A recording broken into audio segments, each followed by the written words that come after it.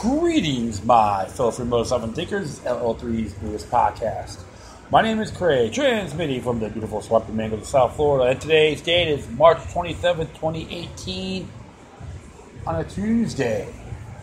It looks like spring break has simmered down in Fort Lauderdale, and I am transmitting the show at Squiggy's New York Pizzeria, located at 207 Southwest 2nd Street in the Himmarshee district of Fort Lauderdale. Check it out. You don't need a corporate chain pizza joints to get good food. Remember, if it's cheap and it means it's crappy, you get what you pay for. Yeah, so um did a little work today and took a nap. I'm thinking about doing another show. And I know I didn't leave any footnotes in my last few um, episodes. I do apologize for that because once again my computer has kicked the bucket. So I'm on my phone. It's all good. Show must go on as usual. I got a few here to talk about. It's interesting because I did a little post yesterday on um, a picture of Mr. Hogg, David Hogg with uh, with his uh, little pony unicorn knapsack that says "From my cold, da- my damp, soft hands," like a parody of uh, Charles Heston's doing "From my cold, dead hands." So from my damp, soft hands. I posted on Facebook. I do find that funny. I like good satire because um, you know political stuff is great. Doesn't matter what side of paradigm I just posted on there.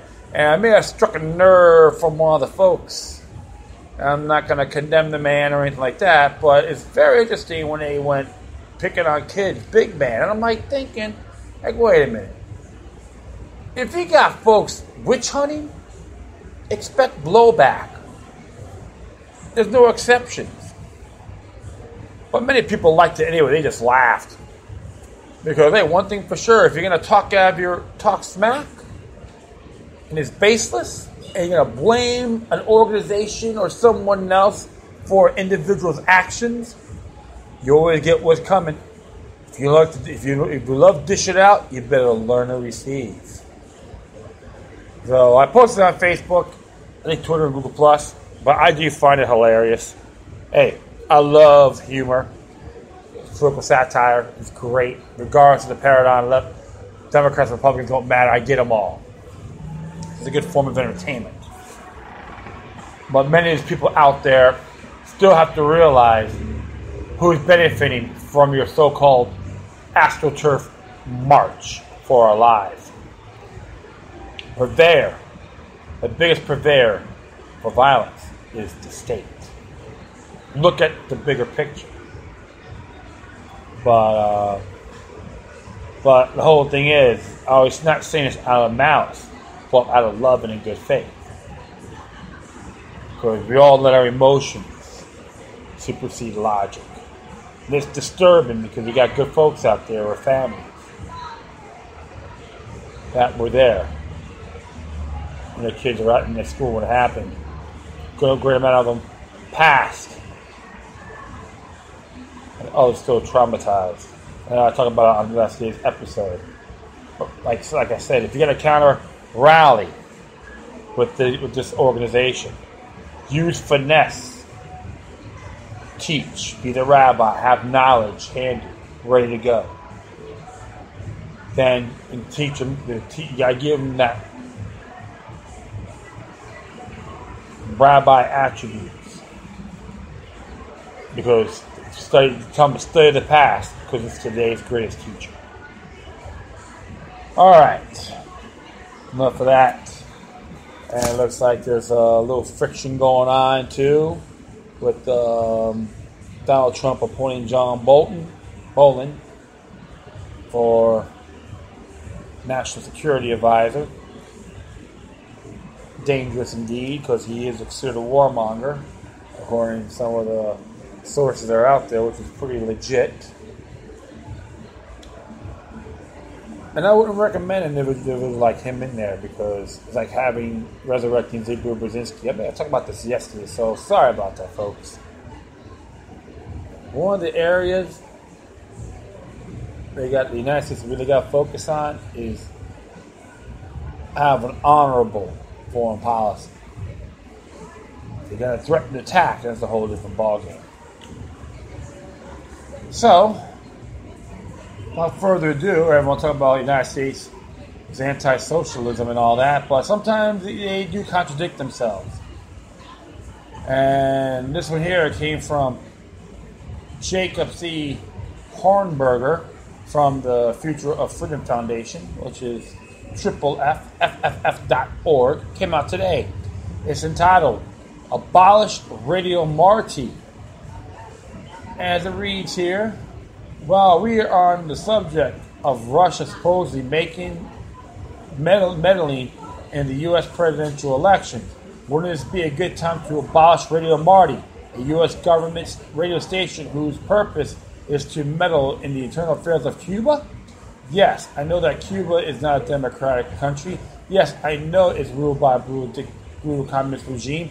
But why does that authorize the U.S. government to meddle in Cuban affairs? After all, and after all, let's be honest. The aim of the U.S. government and the socialist radio station is not to bring democracy to Cuba, but rather to install a pro U.S. dictator into power. If that can be done democratically, that's great. If not, then so be it. What matters all above else is that a pro U.S. dictator rule over Cuba, Cuba, democratically or not, one who will do the bidding of U.S. officials. A good modern example of this phenomenon is Egypt, when Egyptian voters elected wrong the wrong candidate in the democratic election. The Egyptian national security establishment went into action, ousting him from power, and resumed direct control over Egyptian society, with the full support of the U.S. government, which today furnishes the unelected military goons with millions of dollars in high powered weapons that are used to maintain their brutal and tyrannical anti democratic hold on power. For all you folks that support Never Again should listen up. Of course, it's not only the t- only time that U.S. officials have destroyed democratic regimes to put their dictators into power. Iran, Guatemala, and Chile come to mind. Think back to the dictator who ruled Cuba before Fidel Castro. Fulgencio Batista. Fulgencio Batista.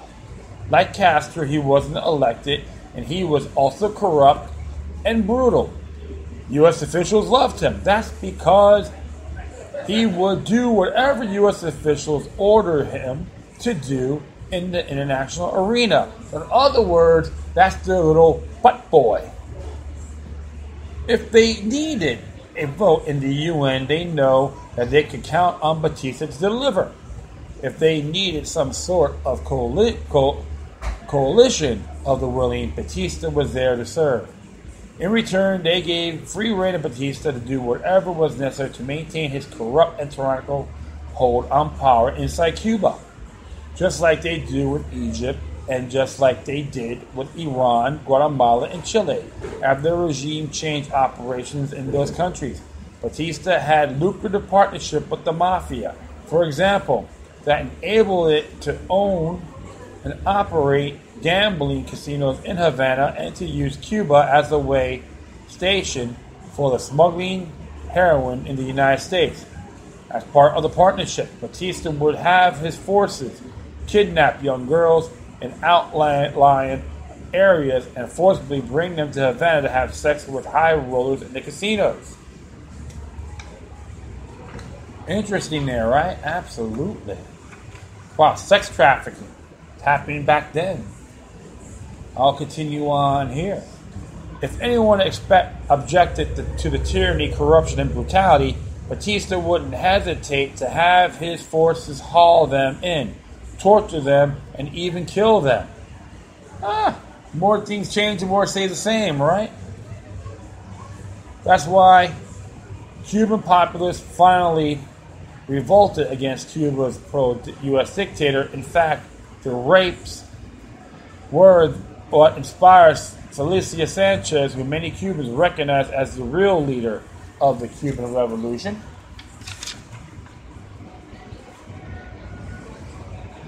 To take up arms against one of the U.S. government's favorite dictators, just like Iranian people did in 1979 against the dictator that the CIA officials gave them in 1953. That's Operation Ajax.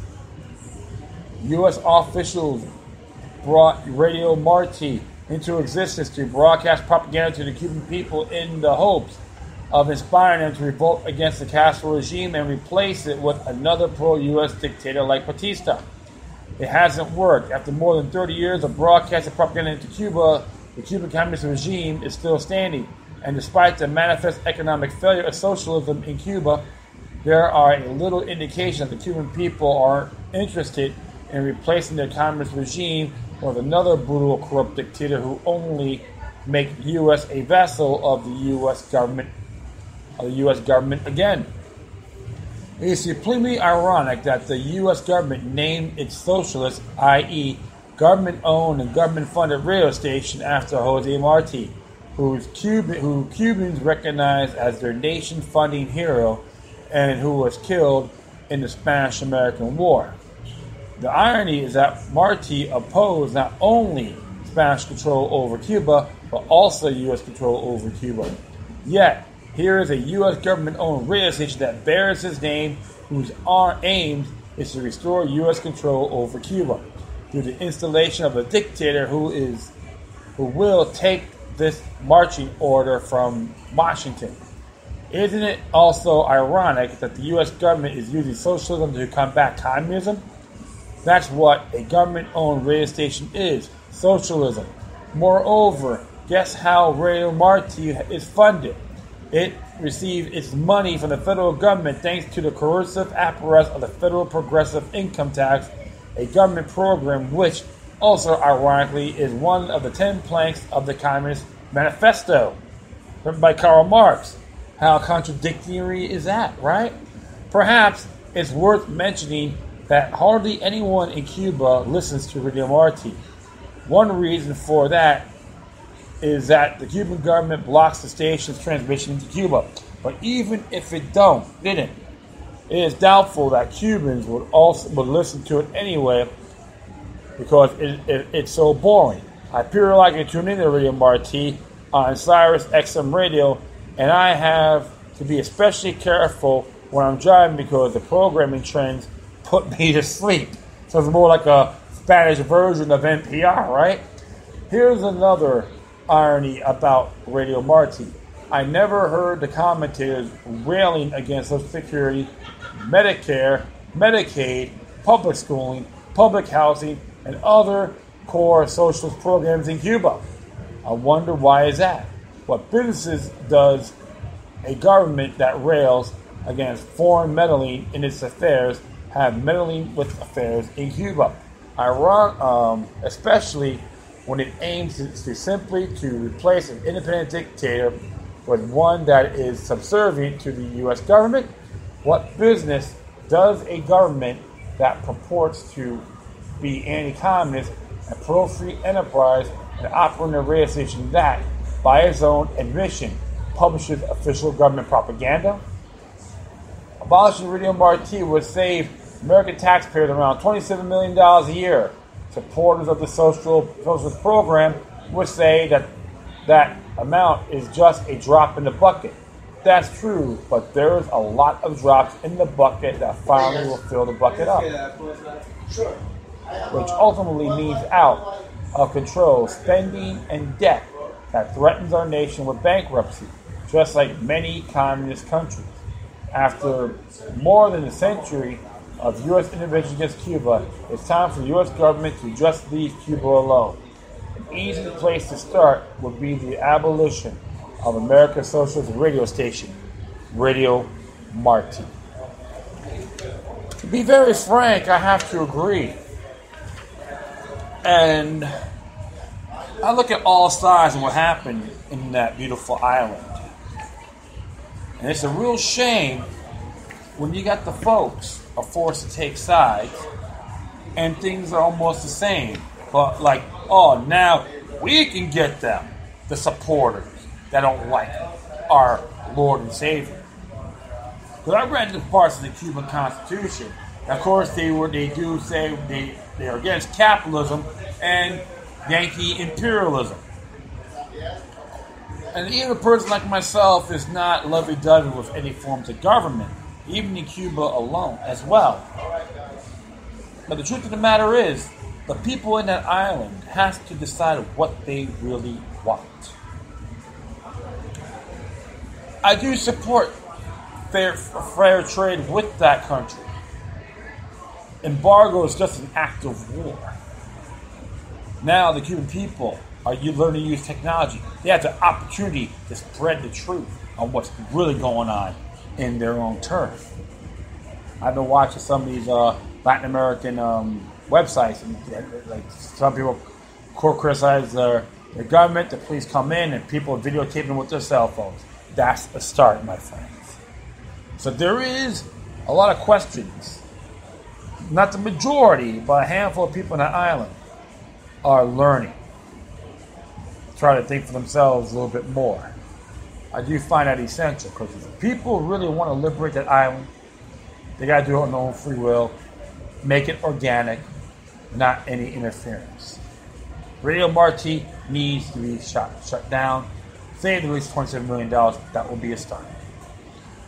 Ooh, yeah. So, uh, interesting there about Radio Marti. Okay, cool. Next one here, I'll be gonna be addressing came from the Tenth Amendment Center. And it's some good news. New Kentucky laws put limits on drone spying will help thwart federal surveillance program. And this is by Mike Harry. I think that's right, Michael Harry. Yeah, Michael Maharrey. Man from Kentucky. But good stuff here. It says here. This came out today, by the way. Last week, a bill requiring police to get a warrant before engaging in drone surveillance for most situations became law without the, gov- without the government signature.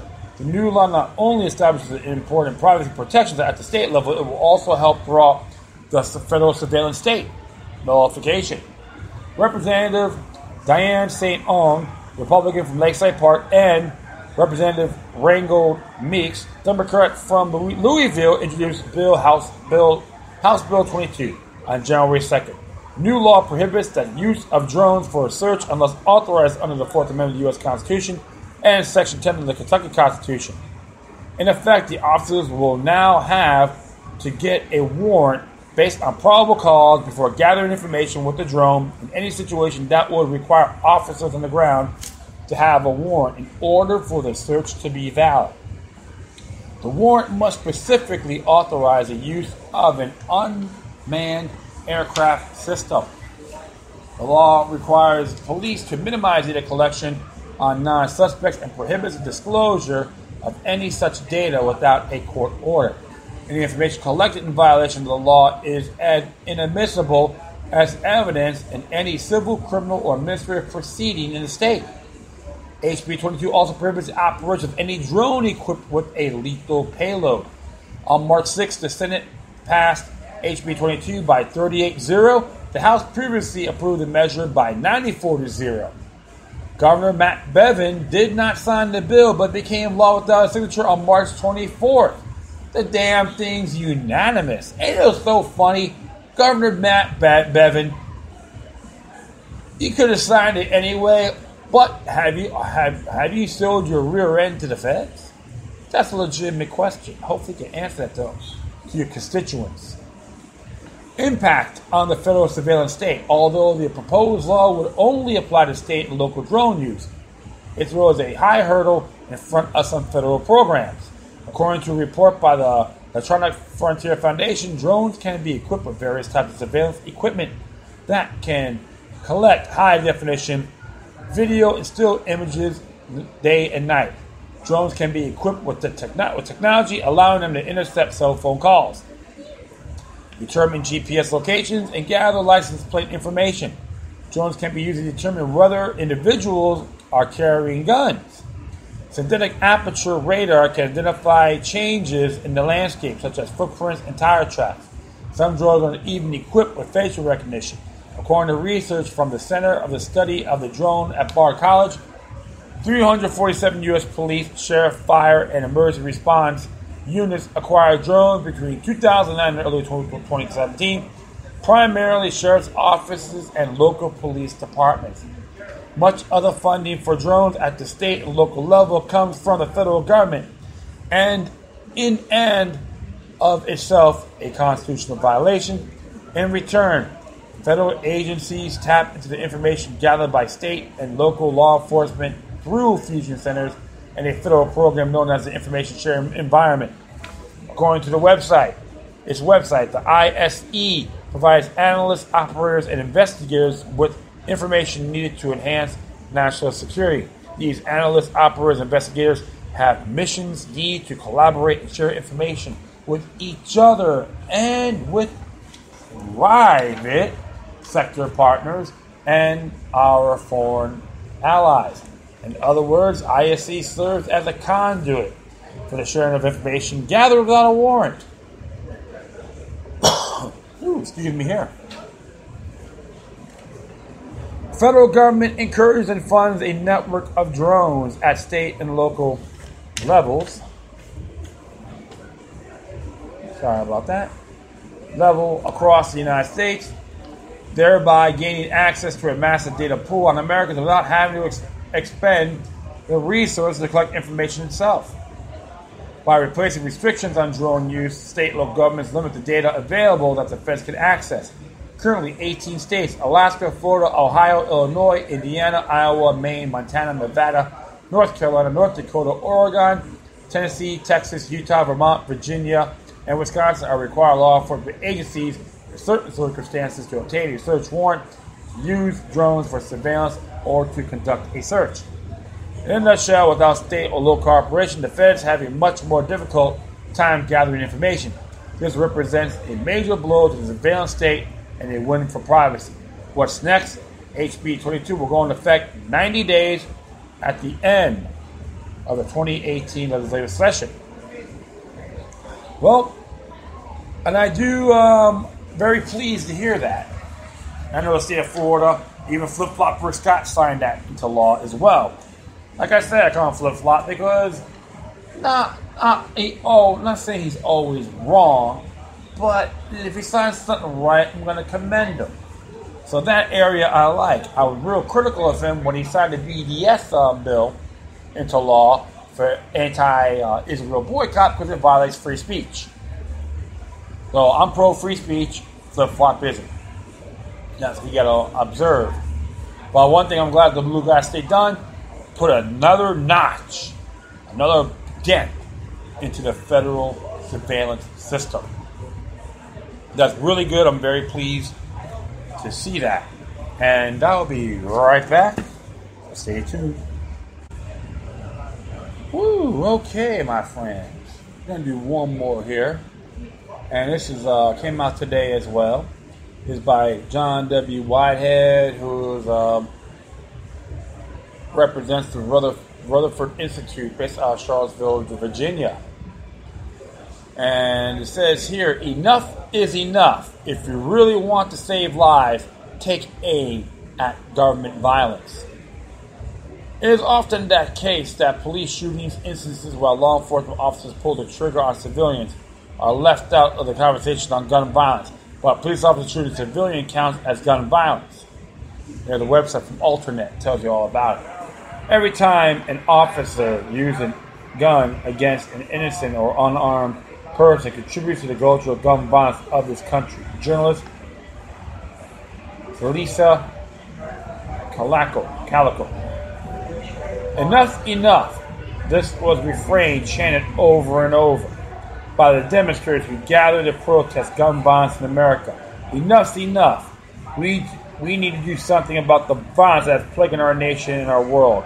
Enough's enough. The world would be a better place if there are few fewer weapons that could kill, maim, destroy, or debilitate. Enough's enough. On March 24th, 2018, more than 200,000 young people took the time to march on Washington, D.C., and other cities across the country demand that their concerns about gun violence be heard. More power to them. I'm all for activism, especially if it motivates people who have been sitting silently on the sidelines for too long and get up and try to reclaim control over a runaway government. Curiously, however, although these young activists were vocal in calling for gun control legislation that requires stricter background checks and limits the kind of weapons being bought and sold by members of the public, they were remarkably silent about the gun violence perpetrated by their own government. Enough's enough. Why is no one taking aim at the U.S. government as the greatest purveyor of violence in American society and around the world? The systematic violence being perpetrated by agents of the government has done more collective harm to the American people and our liberties than any single act of terror or mass shooting. Violence has become our government's calling card, starting at the top and trickling down. From more than 80,000 SWAT team raids carried out every year on the unsuspecting Americans by heavily armed black guard. Yeah, no problem. That's my friend Alice from Booze Garden. I'll be right back. Black Arbor, wait, the Black Arbor Commandos and the increasingly rapid militarization of local police forces across the country to the drone killings used to target insurgents. I'll be right back. All right, I had to talk my my, my, my boy from um, Booze Garden, Alex from Booze Garden. Right on the corner next to Sway on Southwest Second Avenue. It's right by uh, Stash too. Cool place, good vibe, free games good good time, man. I meet I meet some good people there. So check it out. All right, I'll continue on here.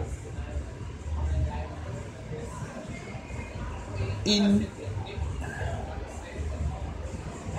enough's enough. The government even exports violence worldwide, with weapons being America's most profitable export. The indeed, indeed, the day before thousands of demonstrators descended on Washington, D.C. to protest mass shootings, such as the one that took place at Stoneman Douglas High School. President Trump signed into law a colossal $1.3 trillion spending bill that gives the military biggest boost in spending in more than a decade. Ironic, isn't it?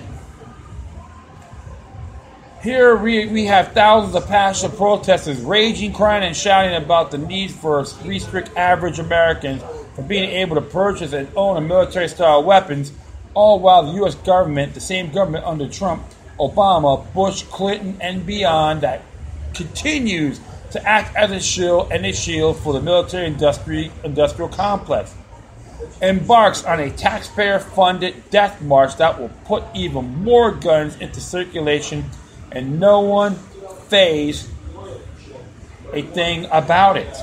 That's a fact. Been going on for a long time. I'm like, hold on. Just, uh, right now, I just printed the stuff up, so bear with me here. I gotta flip these pages over.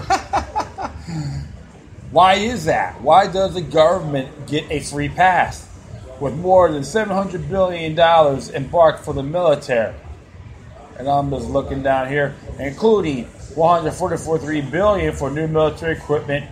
You can expect a whole lot more endless wars, drone strikes, bombing campaigns, civilian deaths, costly military installations, and fat paychecks for private military contractors who know exactly how to inflate invoices and take the American taxpayer for a ride.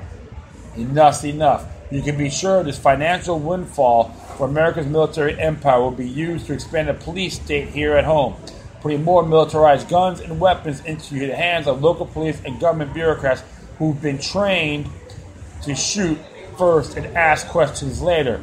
There are now reportedly more bureaucratic, non military government civilians armed with high tech deadly weapons than U.S. Marines.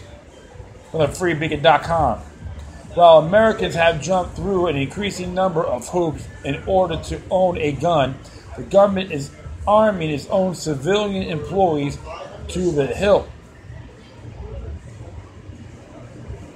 To the hilt with guns, ammunition, and military style equipment, authorizing them to make arrests and turning, training them in military tactics. Among the agencies being supplied with night vision equipment, body armor, hollow point bullets, shotguns, drones, assault rifles, and LP gas cannons are the Smithsonian, U.S. Mint, Health and Human Services, IRS, FDA, Small Business Administration, Social Security Administration, National Oceanic and Atmos- Atmos- Atmospheric Administration, Education Department, Energy Department, Bureau of Engraving and Printing, and assortment of other public universities. Seriously, why do IRS agents need all need AR-15s? Enough's enough. Remember, it was just a few months ago that President Trump aided and abetted his trusty Department of Justice henchman Jeff Sessions roll back restrictions on the government's military recycling program to the delight of the nation's powerful police unions. Under the auspices of this military recycling program, which was instituted decades ago and allows local police agencies to acquire military grade weaponry and equipment. More than $4.2 billion worth of equipment has been transformed from Department Defense to domestic police agencies since 1999. Ironically, while gun critics continue to clamor for bans on military style assault weapons, high capacity magazines, and armor piercing bullets, expand on background checks and tougher gun trafficking laws, U.S. military boasts all of these and more, including some weapons the rest of the world doesn't have. In the hands of government agents, whether they are members of the military, law enforcement, or other or some other government agency, these weapons have become routine parts of America's day-to-day life, a byproduct of the rapid militarization of law enforcement over the past several decades. Over the course of 30 years, police officers in jackboots holding assault rifles have become fairly common in small town communities across the country. As investigative journalist Andrew Becker and J.W. Schulz revealed, many police, including beat cops, now routinely carry assault rifles. Combined with body armor and other apparel, many officers look more like combat troops serving in Iraq and Afghanistan. Daily Beast. Although these programs that allow military gifts to gift battlefield appropriate weapons, vehicles, and equipment to domestic police departments at taxpayer expense are being sold to communities as a benefit for the real purpose is to keep the defense industry churning out profits, bring police departments in line with the military, and establish a standing army. It is militarized approach to make work programs, except in this case, instead of unnecessary busy work to keep people employed, communications across America are being inundated, inundated with unnecessary drones, tanks, grenade launchers, and other military equipment better suited to the battlefield in order to fatten the bank accounts of the military industrial complex. Thanks to Trump, this transformation of America into a battlefield is only going to get worse. Get ready for more militarized police, more police shootings, more SWAT team raids, more violence in a culture already drenched with violence. Enough is enough. You won't talk about. You want to talk about gun violence? According to the Washington Post, one in 13 people by guns are killed by police. While it still technically remains legal for an average citizen to own a firearm in America, possessing one can now get you pulled over, searched, arrested, subject to all matters of surveillance treated as a suspect without ever having committed a crime. Shot. Killed at. Ooh, hold on here. Shot at. Killed by police. Let me see. Just trying to see here. Yeah, crime without even getting shot at, killed by police. You don't even have to have a gun or look or look-alike gun, such as a BB gun, in your possession to be singled out by the police. See, you see what's going on right now? Absolutely. And some of these people don't know how to think. We'll proceed here. These are countless incidences that happen every day in which Americans are shot, stripped, searched, choked, beaten, tasered by police for more, little more than daring to frown, smile, question, or challenge an order. Growing numbers of unarmed people are being shot, killed for just standing in a certain way, or moving a certain way, or holding something, anything that police could misinterpret to be a gun, or ignite some trigger centric fear in police officers' mind has nothing to do with an actual threat to their safety. Enough is enough with alarming regularity. Unarmed men, women, children, and even pets are being gunned down by twitchy, hypersensitive, easy spooked police officers who, who shoot first and ask questions later. And all the government does is shrug and promise to do better. Killed for, stand, for standing in a shooting stance. In California, police opened fire on a and killed on and killed a man, uh, killed a mentally challenged, unarmed black man within minutes of arriving on the scene, allegedly because he removed a vape smoking device from his pocket and took a shooting stance. Killed for holding a cell phone. Police in Arizona shot a man who was running away from U.S. Marshals after he refused to drop an object that turned out to be a cell phone. Similarly, police in Sacramento fired 20 shots at an unarmed 22 year old black man who was standing in his grandparents' backyard after mistaking his cell phone for a gun. Killed or carrying a baseball bat. For carrying a baseball bat. Responding to a domestic disturbance call, Chicago police shot and killed 19 year old college student Quintino LeGrier, who had reportedly been experiencing mental health problems and was carrying a baseball bat around the apartment where he and his father lived. Killed for opening the front door. Betty Jones, who lived on the floor below LeGrier, was also fatally shot, this time accidentally when she attempted to open the front door for police. Killed for running towards police with a metal spoon. In Alabama, police shot and killed a 50 year old man who reportedly charged a police officer while holding a large metal spoon in a threatening manner killed for running while holding a tree branch. Georgia police shot and killed a 47 year old man wearing only shorts and tennis shoes who, when first encountered, was sitting in the woods against a tree only to start running towards police holding a stick in an aggressive manner. Killed or crawling for crawling around for crawling around naked. Atlanta police shot and killed an unarmed man who has reportedly been acting deranged, knocking on doors, crawling around the ground naked. Police fired two shots at the man after he reportedly started running towards them.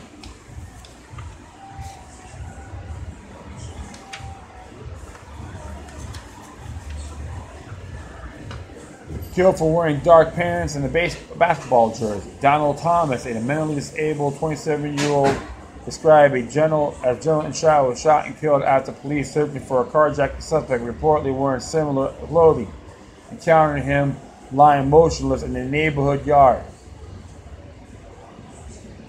Police only opened fire with an M4 rifle after Thompson first failed to respond to the flashbang grenades and started running as it being hit by foam bullets. Killed for driving, killed for driving while deaf. In North Carolina, a state trooper shot and killed 29 year old Daniel K. Harris, who was deaf, after Harris initially failed to pull over during a traffic stop killed for being homeless. Los Angeles police shot an unarmed homeless man after he failed to stop riding his bicycle and then proceeded to run from the police. Killed for brandishing a shoehorn. John Warana, a 95 year old World War II veteran, lived in the assisted living center, used a walker to get around, and was shot and killed by police who mistook the, shoe, the shoehorn in his hand for a two foot long machete and fire multiple beanbag rounds from shotgun at close range. Killed for having your car break down on the road. Terrence Crutcher, unarmed black, unarmed and black, was shot and killed by Oklahoma police after his car broke down on the side of the road. Crutcher was shot in the back while walking towards his car with his hands up. Killed for holding a garden hose. California police were ordered to 6.5 million order to pay $6.5 million after they opened fire on a man for holding a garden hose, believing to be it, to believing it to be a gun. Douglas Zerby was shot 12 times and pronounced dead on the scene. Killing for calling 911. Justin Damond, a 40-year-old yoga instructor, was shot and killed by Minneapolis police, allegedly because we see here, allegedly because they were startled by a loud noise in the vicinity as she just approached their as she approached their patrol car. Damond, clad in pajamas, had called 911 to a possible assault in her neighborhood. Killed for looking for a parking spot. Richard Ferretti, a 52 year old chef, was shot and killed by Philadelphia police, who had been alerted to investigate a purple Dodge Caravan that was driving suspiciously through the neighborhood. Shot seven times for peeing outdoors. 18 year old for peeing. 18 year old Kevon Young was shot seven times by police from behind while urinating outdoors. Young was just zipping up his pants when he heard a commotion behind him and then found himself struck by a haul of, hail of bullets from two undercover cops. Allegedly, officers mistook Young, 5 foot 4 or 135 pounds, and guilty of nothing more than taking a leak outdoors for a 6 foot 200 pound murder suspect who was they who they later apprehended. Young was charged with a felony resisting arrest and two counts of assaulting a peace officer. Hmm. I'm gonna got one more page here.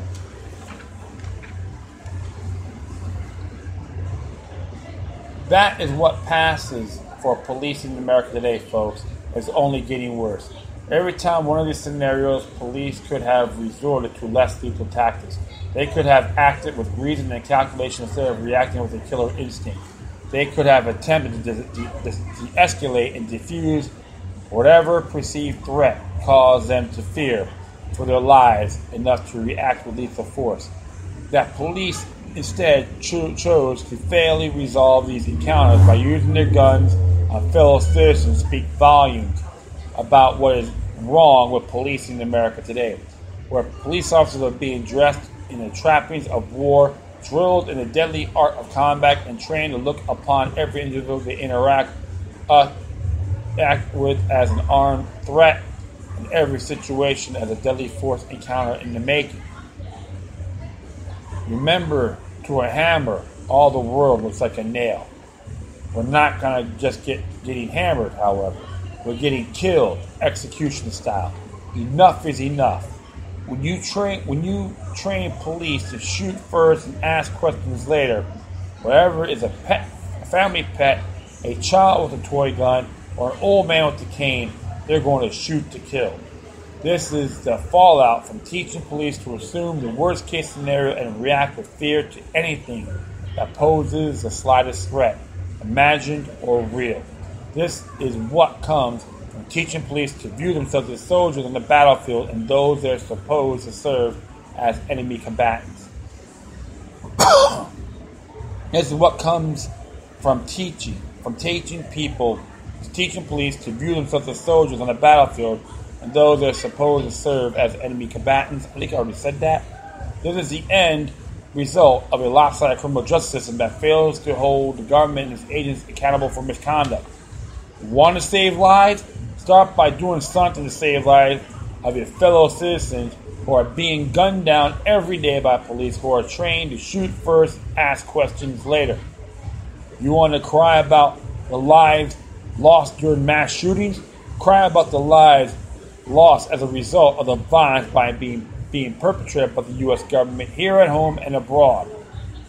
If gun control activists really want the country to reconsider its relationship with guns and violence, then it needs to start with a serious discussion about the role our government has played and continues to play in contributing to the culture of violence. If the American people are being called on to scale back on their weapons, then I, then, as I make it clear in my book, Battlefield America, The War on the American People, the government and its cohorts, the police, the various government agencies, they're now now armed, they're now armed to the hilt Military, the military, the defense contractors, etc., need to do the same. It's time to put an end to the government's reign of terror. Enough is enough. You don't have to play by the rules of the corrupt politicians, manipulative media, and brainwashed peers. Pretty hardcore indeed. Jason Whitehead always, John Whitehead always does a good job in doing his interpretations. And I recommend everyone to join on newsbuzz.com or the Rutherford Institute. Just, just subscribe at the least. You get some good information on but on his writings and even his videos on Newsbuzz. Very fantastic um, presentations. And of course, I, I like to tell folks to look at, try to check out this book called um, Arrest Proof Yourself. And it's based on a, a, an, um, a former, I think a retired attorney named Dale Carson, who was a former Miami cop. And he broke the case, the Miami Rivers cop case, when he was an FBI agent. Very fantastic information on how the police are being trained more aggressively. And am I being going to be condemning the police, every police officer out there? No, absolutely not. But we always got to question how they're being taught, programmed, trained, and look at you as everyone as an enemy. And that's very dangerous. We need to go back to the peace officer status. And one thing I always questioned was the military industrial complex. So all these folks out there that want to protest enough's enough, you should be looking at this because it affects every single one of us. That is a fact. And, and, and like I said before, look what the customs officers, the BSO deputies done at Douglas High School. Stood down, didn't do a damn thing. They failed. They failed their duties on protecting people the best of their ability, and you can't really sue them. You can't sue the bar sheriff's office under sovereign immunity, tort liability, Florida statute, Florida statute 768.28. If you want to learn more about police protection myths in Florida, just to give you an example, look up Wong versus the City of Miami. I know I've talked about this a few times, but definitely, everyone has the right to know the truth. Is some good folks in these institutions? Absolutely. I have, I can't, I can't, I can't say bad about every single one, but we got a lot of tyranny going on, and people worried about horrific event going to make a mockery of all of us. Remember, when when government has more weapons than the people, that's that's the road to tyranny, towards march towards death, death by government. Study your history, folks, before speaking out. Like I said before, the past is today's greatest teacher. That is it. I'd like to thank everyone for listening. Plus, feel free to download and share through social media networks. If you have any questions, comments, or you're sending something that's interesting me, I want to check out, whatever you do, please send your correspondence with decorum. Keep me on Facebook, Twitter, Google Plus, Spreaker, iHeartRadio, Tumblr, YouTube, Freedoms Network, Minds.com, Future Club, FutureNet.club. I, I know I, I forgot to say it the last episode. All right, that's that's a good. That's another good one. And you can hit me if you want to be a patron. Patreon.com forward slash Loki Luck the third with three eyes in the end, like Roman numeral three. And you could even hit me at Gab, G-A-B.ai, the free speech, freer speech version of Twitter. In addition, you can email me at look number three at gmail.com or anyone with a Proton Mail account, that's the encrypted one, Loki Luck numbers 03 at protonmail.com. All right, my friends, once again, thank you for your time. Plus, always remember that demoniac resistance is something for the soul and can liberate humanity. Until next time, take care of yourselves. Keep on spreading love. May your guardian spirits be with you.